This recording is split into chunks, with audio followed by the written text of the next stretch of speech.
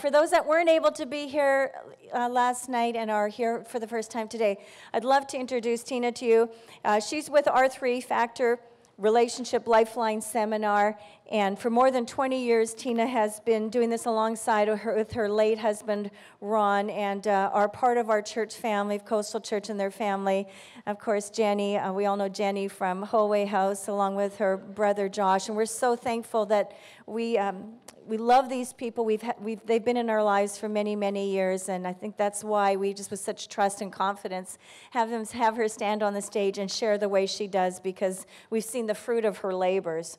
And uh, so they've been doing intensive seminars called Relationship Lifeline for, like I said, over 20 years. And uh, as you would have found last night, her teaching style may not be traditional in the sense that we just sit and take notes and, and it's just a download and then we go home and ponder, but it actually takes us through exercises with the R3 factor, which reveals issues from the past, which we did last night and then what we hold back and then bring into our relationships. How to rewrite our story and then to renew our life so that it's not just surviving, but it can be better than it ever has been before. And of course, that relationship is in marriage, but also in every type of relationship that we have. She's a registered professional counselor right here from Vancouver, now living in Orange County. Yay, and has worked with such celebrities such as Gene Simmons and Shannon Tweed. If you ever saw the television show uh, Family Jewels, uh, Tina was on one of those episodes, weren't you? And really, it was so powerful watching them go through some of the exercises in their relationship and really how that was restored. The Real Housewives of OC, you've participated with some of the women there as well. Featured on the Today Show and continues to travel around the world with transformation seminars. So, without any further introduction, would you please put your hands together and welcome Tina Konkin?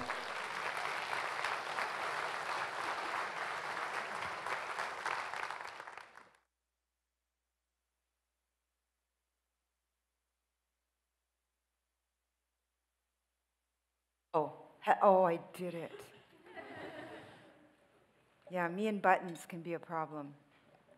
Um, you know, as Pastor Cheryl was introducing me and some of the work that I've done with some of the celebrities, it was funny because uh, when we were first approached by the, by the producers of the Family Jewels, Gene Simmons Family Jewels, they don't reveal to you who the celebrity is. And it took them three months to convince us we wanted to do this because all I had to hear was reality show and you know, this conservative girl from, I'm not conservative spiritually, I'm just conservative when it comes to stuff like that. And, um, and it was just a really tough thing. And Margaret said, Look, it sounds all legit. And I said, Look, I have one question. Is it a real relationship problem, or, is it just them trying to create, you know, drama on this show? And um, they said, no, it's a real relationship problem. They assured us. And if, some, if they don't get help, now the producer's end was, if they don't get help, the show ends, right? And on my part was, was it real? And so we concluded it was. And, and I'm sharing this story because last night I shared with you in review that we wear glasses. And the glasses that we wear to see through, and some of you weren't here last night, so I just want to do a quick review. But the glasses that we wear aren't clear because everything that we saw, heard, and experienced growing up in our youth and in our childhood created filters in our glasses. And I call these glasses judgment. And so with these filters, we see our world.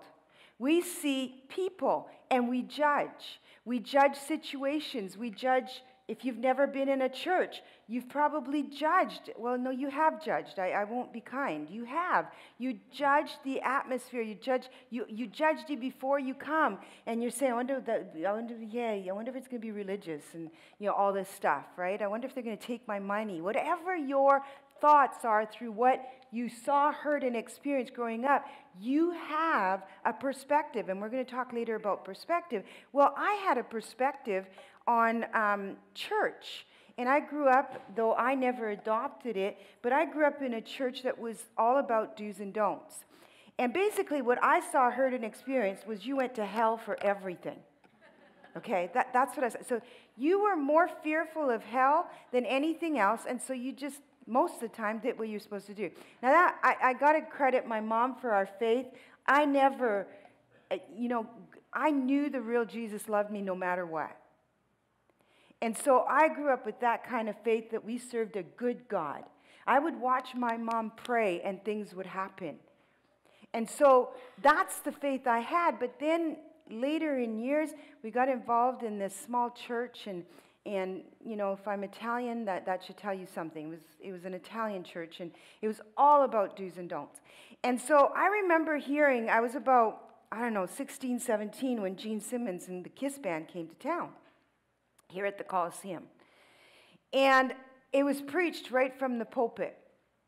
If any of you kids are in that concert, you will tonight know that you'll make your decision to enter hell and you'll never come back. Right? I mean, those are what that's what I heard. You're going to hell if you go to that Kiss concert, right? So I didn't want to go to hell. I didn't go. you know, I mean, as much as I knew Jesus loved me, I thought I ain't taking that chance, you know. And, and so we didn't go as a youth group. We didn't, you know, nobody we knew went. But guess what the first thought, because of what I saw, heard, and experienced at 16, I'm not going to tell you how old I am, but that was a long time ago. As soon as we said yes, and they had their uh, non disclosure things all signed by, with my signature, they suddenly said, It's Gene Simmons from Kiss for Family Jewels. And I went, Oh God, I'm going to hell. Those were my, that was my first thought. I'm going to hell, and I've actually signed the contract. right? So to tell you, to tell you how much power this has is very powerful. Now, to you, that's funny. But I've experienced a lot of religious damage because of things like that. Now, because I grew up in a faith based home, I didn't, that didn't affect me. I didn't go. But really, did I really believe I was going to go to hell? no. So, part of me, you know, wants to help you understand that as we go through the day to day, I'm asking you to make a decision to put on a really different pair of glasses that doesn't feel comfortable when you wear them. Don't look natural, don't feel natural. You can't see because it's not filtering. And the other thing we talked about last night in review was uh, Rob came, and, and they're here with me from Orange County. But we talked about the R3 factor, which is what we're talking about here today. And when I was on breakfast television a couple of days ago, um, I spoke about the three deadly, the three deadly emotions in relationships, all relationships. And those three deadly emotions, if we don't do the R1 first and reveal, that's the R1, that's reveal. So if we don't reveal first, right, something's going to happen.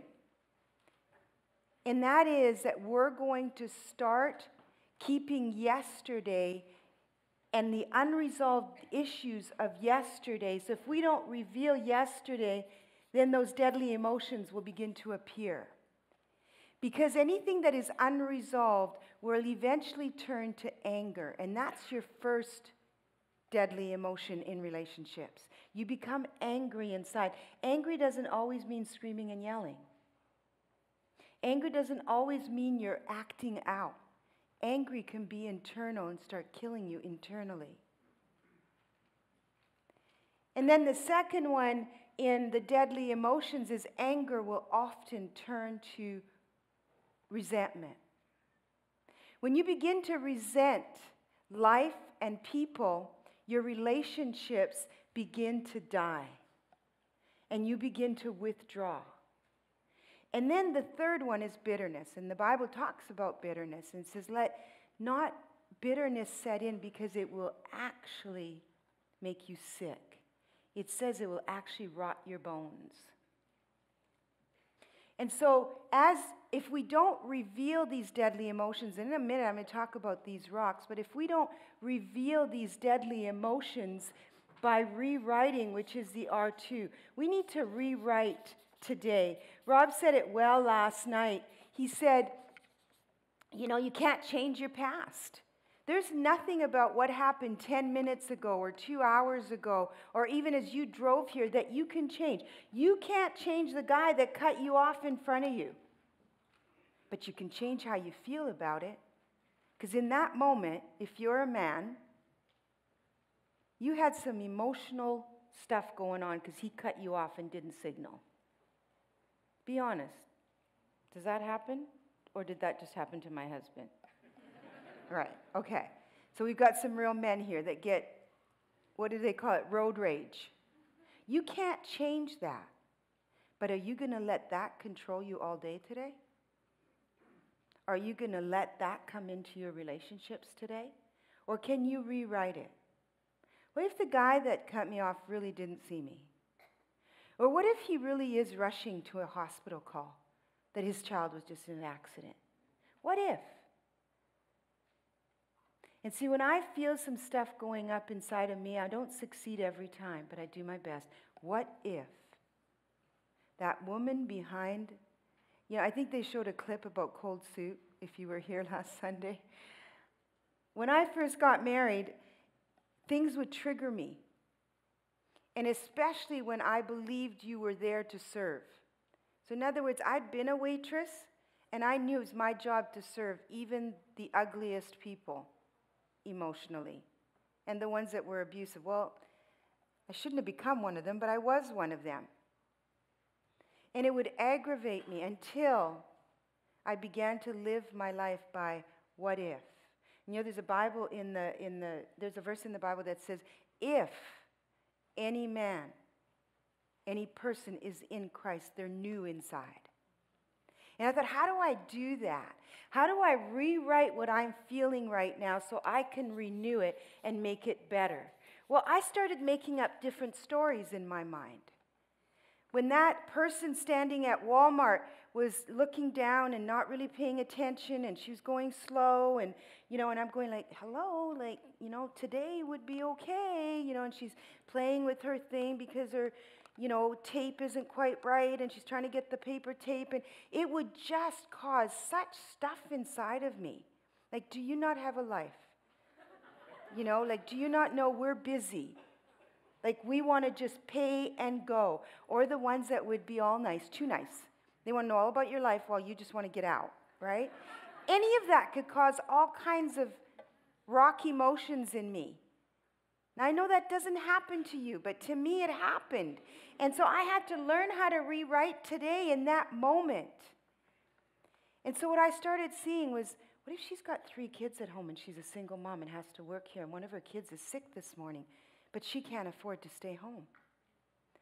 What if that's why her countenance doesn't really see me? Or what if the really nice person is scared to lose her job and she's been trained to be nice and be personal? So she's just doing her job. What if? Would that change how I looked at things? That's how I rewrite in the moment. How do I renew tomorrow is you know what? I don't want to do a whole lot of rewriting. So when something aggravates me, I'm going, I don't live there. That's okay. If it's triggering me, I own it. It's mine. My anger is mine, not theirs. They can't trigger it unless I let them. And that's how you renew tomorrow. So we, we did that last night, and then we did the rocks. I need to know where Pastor Dave is. He's not here. That means Josh and Mary might be in big trouble. And he's already going, no. And I don't want to ignite anger in him because that's a deadly emotion. And I, and I need that relationship. Who can I pick? Who would just volunteer? I need a couple to volunteer. Oh, look at that. Ron and Sonia, come on up here. I knew I could count on you guys. And because they've been through our program, I don't think they've done it anyway because it's something new. So get up here, quick. Fast. This is intense. You don't do anything slow. Move it. You're starting to trigger stuff. this is Ron and Sonia. Ron and Sonia have a phenomenal story. They've been in our lives since 19? 2000. 2000. 2000. They came through one of our programs and they've got an amazing story because. We're still um, trying to get fixed. Thanks. Thanks. That wasn't what I wanted to hear right now. They're still working on it anyways. And but Ron and Sonia came in totally broken and there was no way he was they weren't even married and there was no way he was going to marry her. And uh, Ron had somewhat of a I'm not going to call it a faith background. I'm just going to call it a religious background. He was born again, but was very religious. Maybe still is a little bit. And um, they're not going to talk. They're going to do something. And then Sonia, and Sonia was an atheist. So that's how they arrived. Sonia now is born again, loves Jesus, and Ron is still trying. No, you love Jesus. You love Jesus. But he told me yesterday that, that- that's why I'm. That's why I'm putting him under. I, that's why I'm pulling him under the rug, is because yesterday he said, I said, Ron, did you have any of those anxieties you were dying? He goes, yeah, and I kept them. I said, you didn't rip it up. He goes, no, I got to go deal with this. I'm going, Ron, you didn't follow instructions. See, he's still got 'em. You didn't follow instructions. You're supposed to get rid of that. But anyways, that's why I say he's a processor. I mean, he's religious because he processes everything religiously, right? So he needs to go home and process that. Anyways, I want you guys to do something. You can't use your mics. Okay. I'm going to ask you guys. These are the rocks we talked about last night, okay? These rocks, for those of you that weren't here, represent the hardness of our heart. Jesus said divorce or separation of relationships. I like to interpret it like that separation of relationships, but he was talking about marriage. He said divorce happens because of the hardness of the rock, of the of the heart. Now, the hardness of the heart doesn't come in one day, and you're not born with it day 1. Okay? So the hardness of the rock, the, the heart comes one rock at a time. One offense, one unforgiveness, a rock of rejection, a rock of guilt, and on and on and on. And when we get married, this is what happens when we get married. We bring all our rocks with us.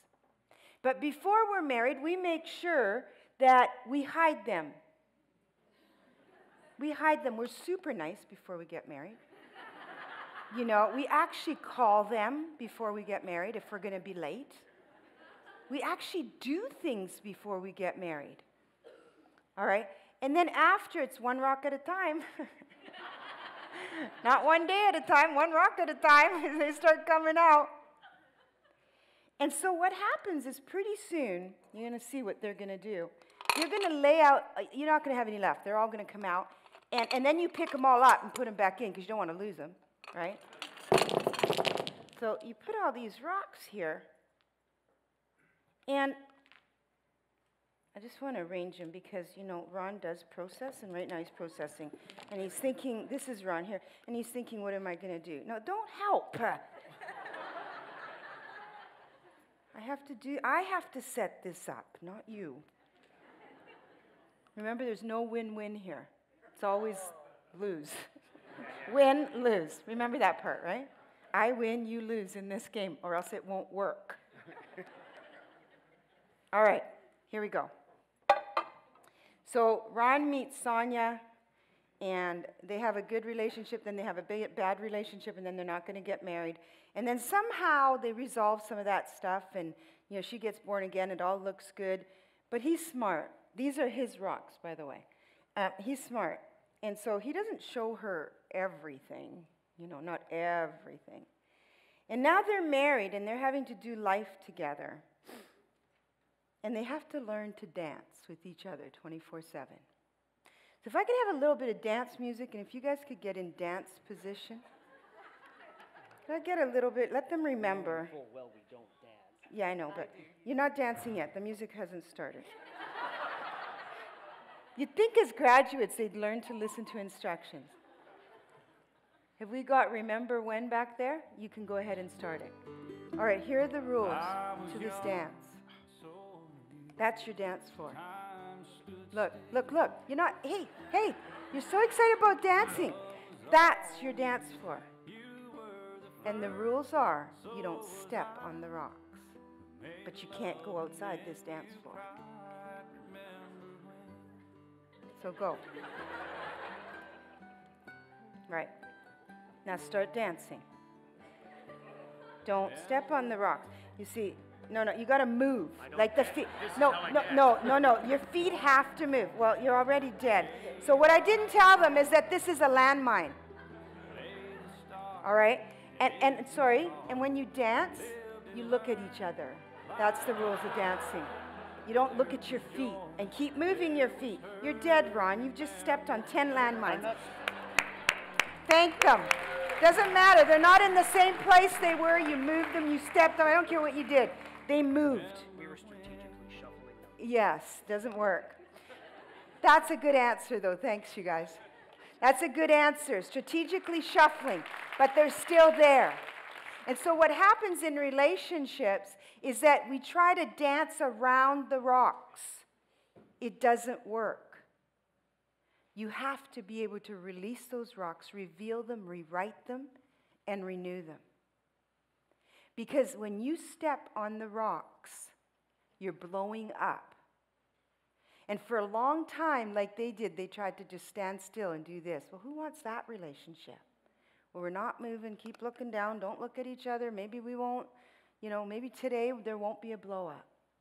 Maybe today I can just hold it at less resentment. Maybe today I can control my anger. That's what anger management's about. Remember, Ron went to an, he was certified as an anger management coach, and he went to the anger management course and he came back and he said, I said, how was it? And he said, great. If you know how to manage your anger, that's what they're teaching you. He goes, but there's no getting rid of it. There's no going to the root. They're giving you techniques to manage. That's not life.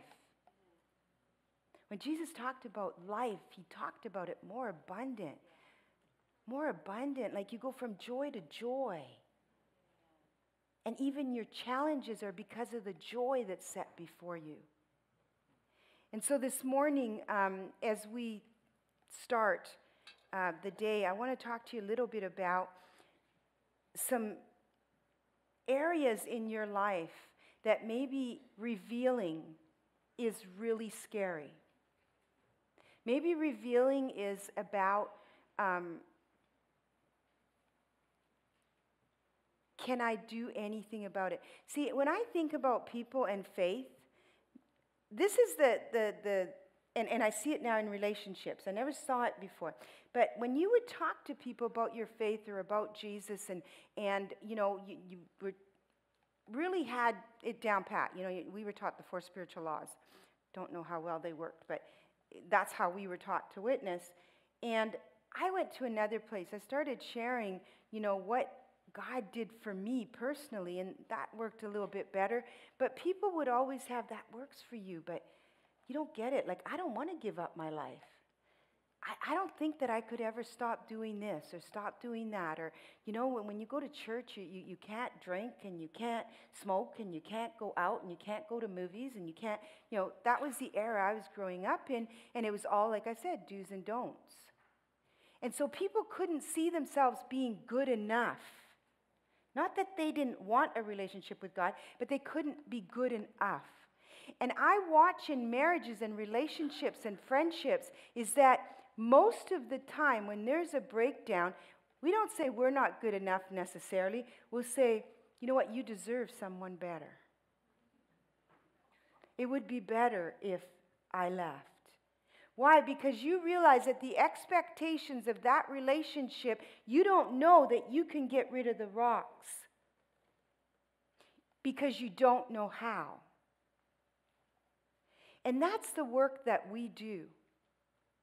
It's teaching you how to reveal, rewrite, and renew so that those rocks, though they're there, you've uprooted them. And if they ever trigger, you say, Is that one of my rocks?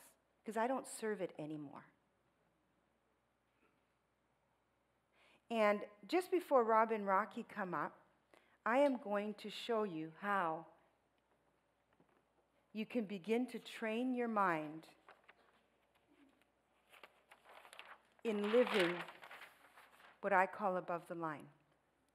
What does that look like? Well, first of all, you have to know what you want. You have to know what you want in life. And I found out a lot of stuff that Dr. Leaf now put in scientific terms just excites me because now there's proof that, first of all, the Bible is true, but there's proof that this experiential, the feelings that we feel, are real. Quite often, people would say, just your feelings are wrong. Don't be led by your feelings. Think about it. Well, here's the truth that I believe about feelings, and that is that they trump they, your feelings trump your thoughts. What do I mean by that? High emotion, low intelligence. Should I say it again? High emotion, low intelligence. How many of you know that anger is a feeling? Do you know that? That you feel it? It's not just a thought, you feel it. Does your mind not tell you that anger is not good. It doesn't usually resolve into good things. So if your mind knows that you shouldn't do that, I believe that's what the Apostle Paul was saying. I do what I shouldn't do. His mind knew it was wrong. But first, you've got to work with what's in the heart to conquer that. So, how do you do that? That's what I want to show you this morning. But I need to identify, first of all, what you want. If you want to, if you want to write some of these things down, that's fine. But I want some of you to just be bold and yell it really loud, okay? And just say it, and I'll write it down. So, what do you want in the first square is what do you want in your work or career? And if you're a stay at home mom or you're retired, that's what takes up the majority of your day, the hours of your day, okay? So, what do you want more of in your work or your career? Just give me one word. Sorry? Freedom. Freedom. Appreciation? Appreciation. What's the next one? Fulfillment. Jenny, why don't you come up here and do this? Because, like my parents used to say to me, I sent you to college and paid for it, so you probably know how to spell better. Okay, I heard a couple more. What do you want more for in your career or in your work? The time that the time you spent most during the day. One time? Fun. Yes, fun. I like that one. Okay, let's go to the next one. Time, fun. Let's go to the next one. What do you want more of in your relationships? Love. Communication. Acceptance. Laughter. laughter okay, women, laughter. Understanding. Patience. Time. Honesty. Honesty. Okay, let's go to the next one. Oh, this could be dangerous. All right, the next one yourself. What do you want more of for yourself personally? Patience? Honesty. Self control. Clarity. Discernment. Did you hear that one? Clarity, peace, song. I missed one over here. What was said over here that's not on there is patience, honesty, self control, clarity, discernment. Sleep. Sleep. Was that my daughter in law? Health. Health. Integrity. Integrity. Okay, that's a good start. You're being honest about this, right? You're telling the truth. Those of you, whatever you said, that's the truth. Correct? Thank you, Jenny. Give her a hand. Much neater. My question now is, and don't answer this one why not? Why do you not have? Let me ask another question. Are any of these things impossible to have? Even if you take the God equation out, you as a human being, Are any of these things impossible to have? Will anybody say yes to that? No. They're all within reason. So, why are they not present in your life? Why not? See, well, or maybe there's some rocks, maybe there's some don't know how. Maybe there's some consuming of those worries, stresses, and fears that you wrote down last night. Some of it must, might be your humanity, but not really, if you knew how. See, I learned that the brain works by asking it questions. There's something that happens, that's why we ask a lot of questions and we get you to do exercises. Because there's something that happens when you ask a question, it triggers the brain to go into a different place. It has to answer. It has to answer. Now, when you don't want an answer from someone, you don't ask a question. See, when I was convinced my kids had told a lie, I never asked them if they told a lie. That would be setting them up for lying. I said, You did this, and these are the consequences. if I knew for sure that that had happened. And so, when you ask yourself a question, be prepared to give yourself an answer. Because you are accountable for why you don't have any of this, or why you don't have it all, or why you don't have some. Why not? So, how do we have what we want? Well, first of all, by revealing what we want so we can work on rewriting so we can have it. And one of the squares that I often put on in a church is what do you want more spiritually? Maybe ask yourself that question. What do I want more spiritually? And why don't I have it? Is it because of discipline? Is it because of spiritual damage? If I were to tell Sonia's story why she was an atheist, it really was because she respected her dad. And he was, and she loved her dad, and her dad must be right that there is no God. So she never questioned it. She never questioned it. He was a good man, he was an honorable man, but some spiritual damage in his past told him there was no God. And based on that belief system, he passed it on. So, how? I do want you to use your piece of paper and put this red line there for a couple reasons. This red line, by the way, if you ever forget it after I leave, apparently I don't leave. I show up in nightmares with a big red line. Why? Because this red line is what I call reality. This red line is what is right now. If you don't, without laboring it more and more, if you do not accept where you are, if you do not accept the reality that you're angry or you carry guilt or you carry shame or you carry things from your past, you have an addiction if you don't acknowledge that, if you don't reveal that, then you're not even in reality.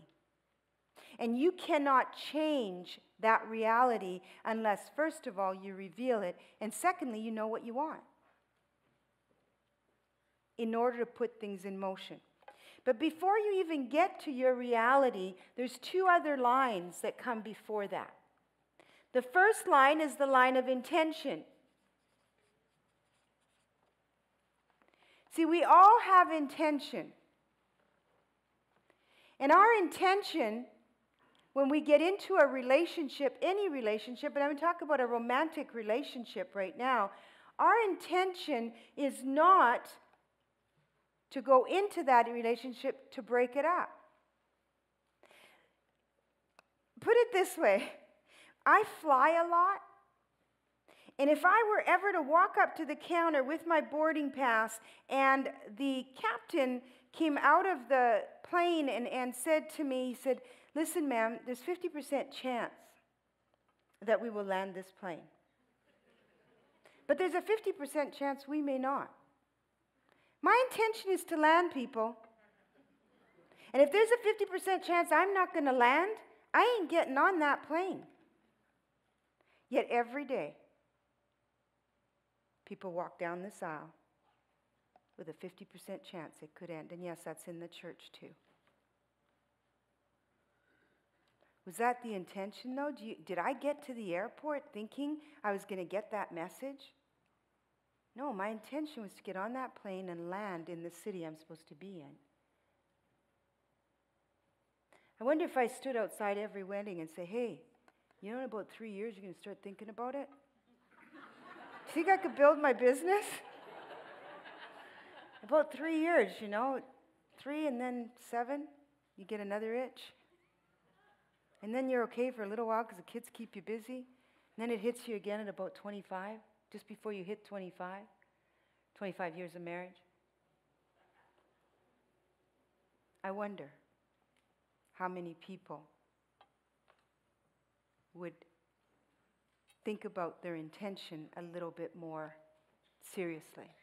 Because your intention is because that person makes you feel good. Your intention is because they're fun. It feels complete. You're going to do life together. There are dreams that you're dreaming together, but nobody's revealed the rocks. So, what's in between this line and this line? And see, this line is the line of decision. This is where the decision happens. Based on your decisions, your reality happens.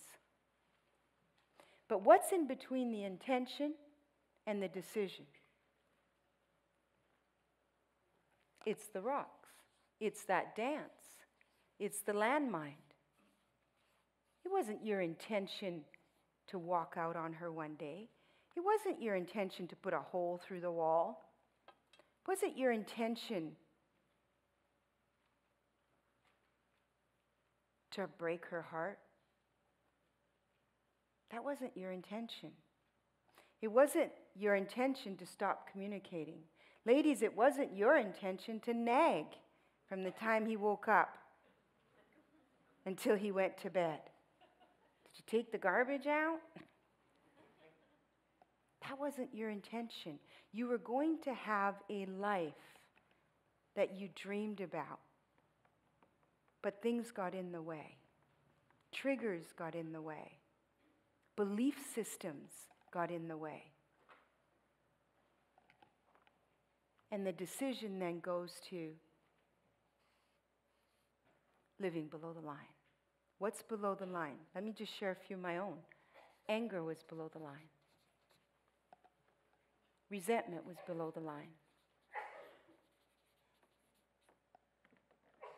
Bitterness was below the line. Unforgiveness was below the line. And then, because of all that, and my growing up in the church, guilt came in. I shouldn't be like that. I shouldn't feel those things. I shouldn't wish that person dead right now. Right? Revenge was below the line. This is all me. What's below your line? Shame was below the line. Abuse was below the line. And the biggest one of all, my best friend, control, was below the line.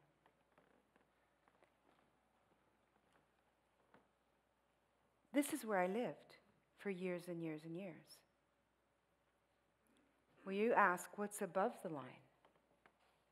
If you make the decision and you take care of this trail, this life of rocks, what's above the line is what Jesus promised us. If any man is in Christ, he is new. So, what's above the line? Love is above the line. Joy, no matter what the circumstances are. Joy isn't happiness. Happiness depends on a happening. Joy is resident, it's inside of you. Count it all joy. That means it lives there. Peace is above the line, harmony is above the line. I'm not going to put communication, there can be a lot of communication below the line, but I'm going to put connection. Intimacy is above the line.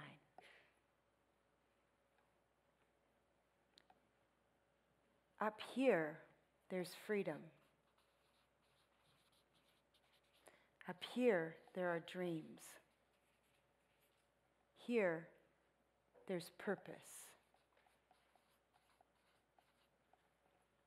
So, is it possible to live your life above the line? I say yes. Is it possible to still slip below the line? Oh, yeah. But watch. This is a vicious circle. And it goes round and round and round. It might start with just a trigger of anger. And it gets deeper because we don't resolve. And then it gets deeper because we don't resolve. And pretty soon there's the guilt and shame. So you come back and say, okay, can't live like this. So for a moment you go up here and, and you realize this isn't, this isn't working for you. And so you make it right for a little bit, but still haven't really resolved. You just make it right for a little bit. And then something gets triggered, and back down here you come. You're walking through the rocks, and back down here you come. See, there's something here that feeds this. You know what it is? Can anybody? Ego. Ego's down here, but something that feeds ego too. Who said that? Good job. Did you go to my course? You just knew that? Wow. Wow, that's good. Fear. I'll tell you why fear leads this vicious circle. Because the fear of letting go to my anger, letting go of my anger meant I might not be safe. It kept me safe as a child. Controlling my environment kept me safe. I'm going to tell you a story. My mom's here and she'll remember this story, but I was a nightmare to travel with because I got sick before we even left the driveway on these long trips. I was born in Belgium and going to, to um, Italy every year. And they just knew, you know, every year, here we go, she's going to get the worst of the worst. But I didn't figure it out until I did one of the exercises in our intensives why it was that any time we left home, I got sick. Like severely sick, high fevers, throwing up. I mean, we, we flew from Belgium to Canada. It's a nine hour flight. Literally, my mom was holding that white bag nearly the whole time, right from takeoff. What I didn't figure this out till years and years later. Why is it? And it was because of the fear of losing control. I didn't know where we were going to be, what and we'd have to stop at hotels. I'll never forget the one night, it's still as vivid as that I can remember.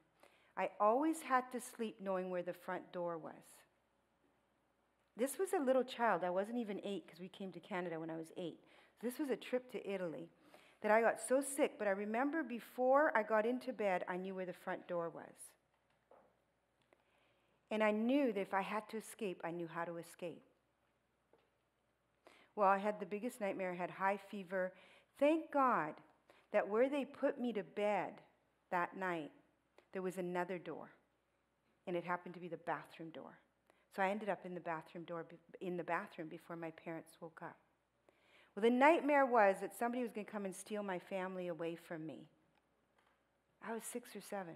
Somebody in the night was going to come in that door and steal my family.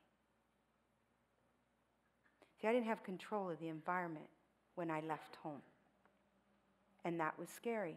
Now, I didn't figure that out. So, how does that affect? So, that's a childhood experience. I got sick when we traveled. How do I connect that dot to my present?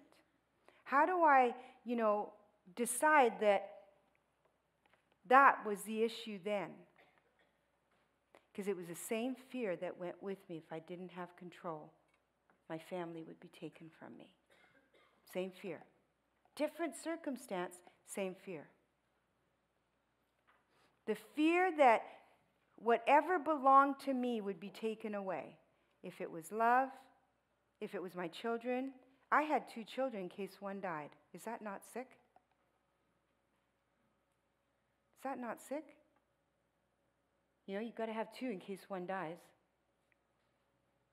But see, the fear of loss was so deep rooted in me that the only thing I had was control. So when I was introduced, and that's fear based, So when I was introduced to this concept of letting go of anger and letting go of control, I went, whoa, whoa. How will I live? How will I live without my two best friends? And I talk about it more on a, a deeper level in the book that we have downstairs. So, fear here is what controlled me. But I thought I had control with the, with, with the, just my emotions. I had control, so I would not, and here's a deeper feel, feeling, was so I would not go crazy, because loss can make you crazy. The hospitals are full of people having nervous breakdowns because of loss. So control was my anchor. And now somebody's telling me I have to let go of it. You can imagine the fear.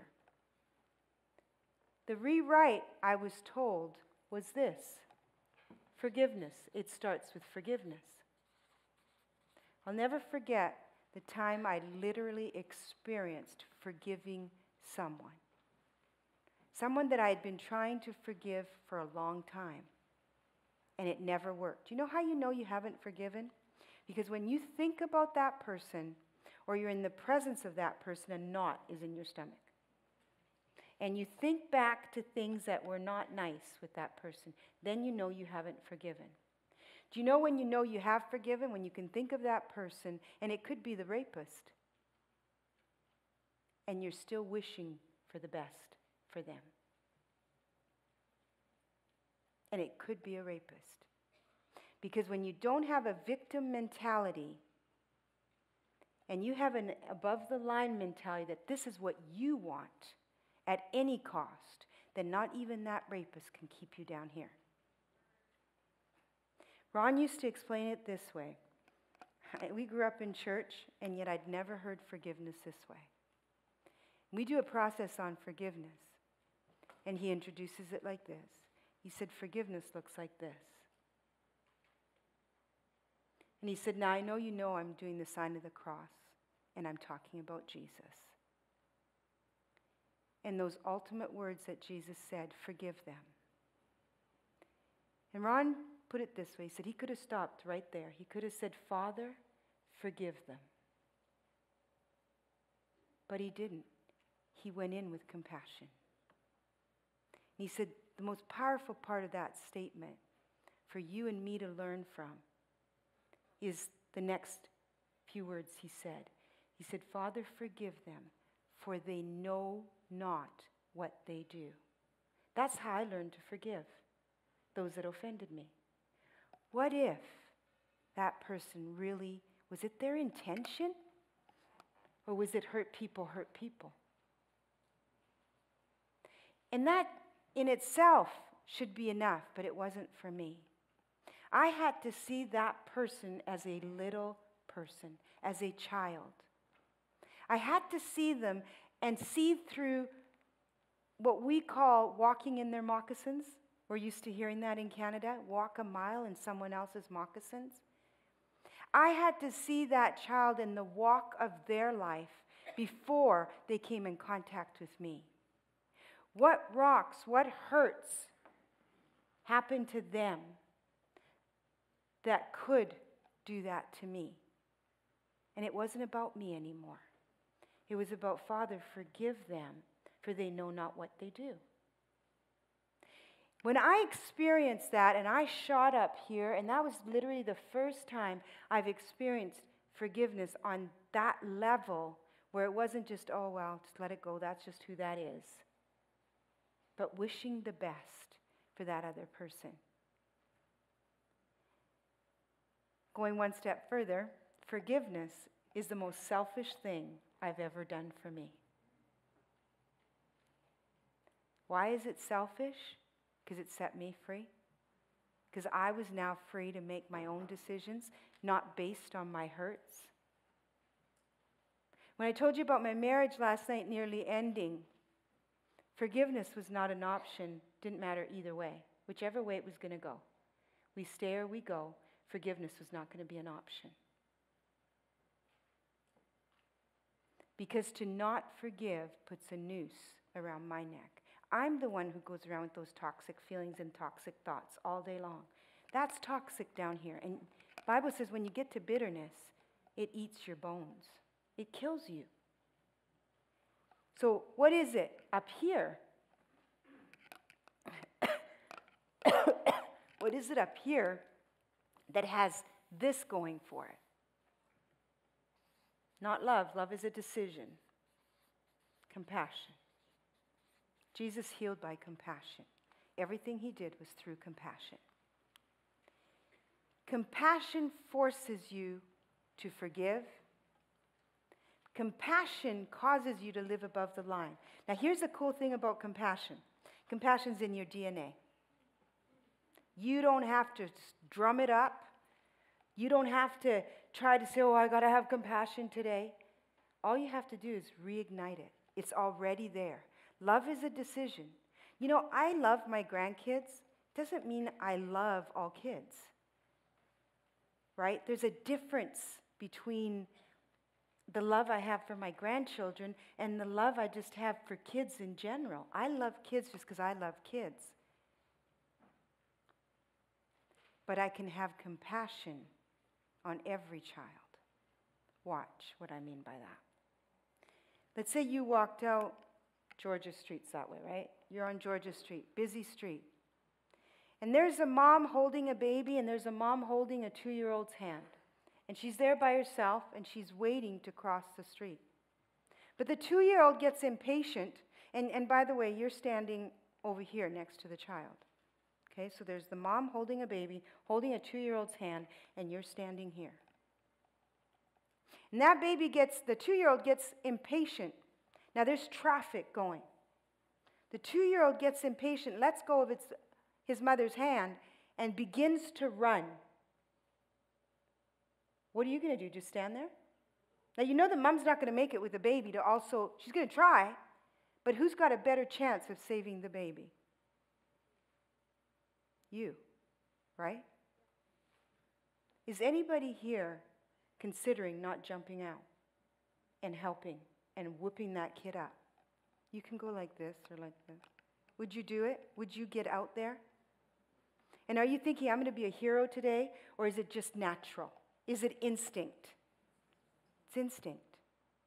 That's compassion. Let me tell you something about that child when it grows up. Might end up on the streets.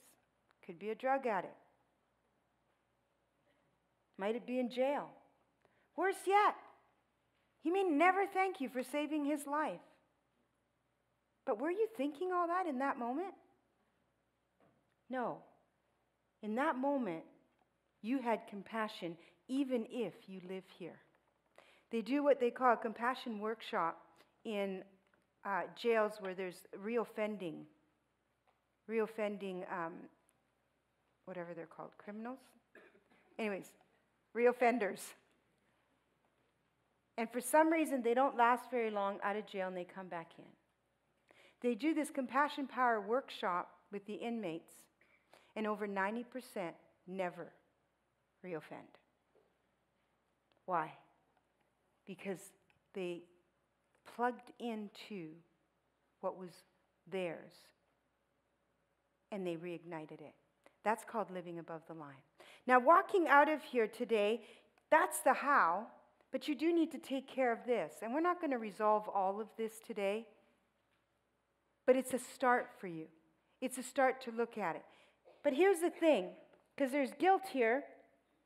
Am I going to feel guilty every time I'm, I slip down here? No, because I do. But here's the difference I used to live here and visit here. Now, I do my best to live here, and yes, once in a while I visit here. But I know I'm there. I'm going, I'm not laying my bed here again. I'm not letting this control me again. I'm not letting fear set in. That could have set in when Ron passed away. The fear could have set in to not do and want to do life on my own. But then I remembered my purpose. I remembered the four years he kept reminding me of our purpose and our legacy.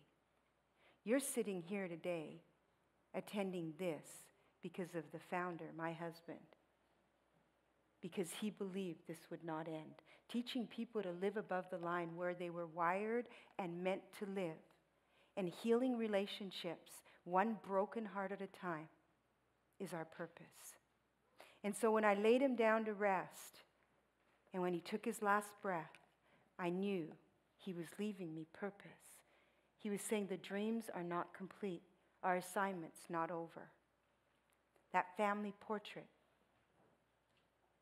your four squares, what do you want? And many of us don't have what we want because of this and because we don't know how.